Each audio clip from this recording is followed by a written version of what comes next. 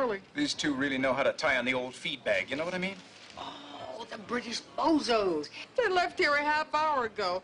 They ate enough to gag a maggot, and then they left with a sexy blonde. There were three of them? Hmm. Can you describe the blonde? Well, every guy in here could tell you everything about her but her hat size.